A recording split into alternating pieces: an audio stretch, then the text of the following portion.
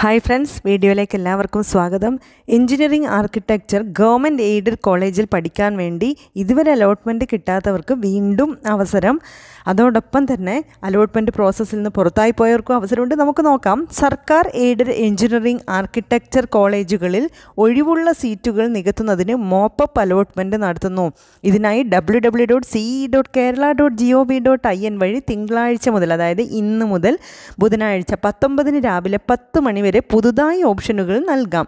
Engineering architecture rank ലിസ്റ്റിൽ ഉൾപ്പെട്ടവരും prospectus close ആറ് പ്രകാരമുള്ള യോഗ്യത നേടിയവരുമായ വിദ്യാർത്ഥികൾക്ക് മോപ്പപ്പിൽ പങ്കെടുക്കാം.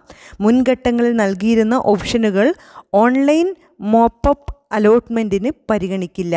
ഓൺലൈൻ ഓപ്ഷൻ നിർബന്ധമാണ്. വിവരങ്ങൾക്ക് zero four seven one two five two five three zero zero എന്ന നമ്പറിൽ ബന്ധപ്പെടാവുന്നതാണ്. അപ്പോൾ ഞങ്ങൾ നമ്മൾ ചെയ്യേണ്ടത് സിഇയുടെ വെബ്സൈറ്റ് സന്ദർശിക്കുക കൃത്യമായി നോട്ടിഫിക്കേഷനും പ്രോസ്പെക്ടസും ഒക്കെ ഡീറ്റെയിൽ ആയി വായിച്ചു നോക്കുക എന്നിട്ട് ഇതുവരെ അലോട്ട്മെന്റ് കിട്ടാതെ കുട്ടികളാവട്ടെ അലോട്ട്മെന്റ് പ്രോസസ്സിൽ നിന്ന് പുറത്തായി പോയവരാവട്ടെ അതോടൊപ്പം തന്നെ റാങ്ക് ലിസ്റ്റിൽ ഉൾപ്പെട്ടവരും ആയിരിക്കണം. അങ്ങനെയുള്ളവർക്കൊക്കെ ഇവിടെ ഈ മോപ്പപ്പിൽ പങ്കെടുക്കാവുന്നതാണ്. മോപ്പപ്പിൽ പങ്കെടുക്കാൻ വേണ്ടി ഓൺലൈൻ രജിസ്ട്രേഷൻ നടത്തണം.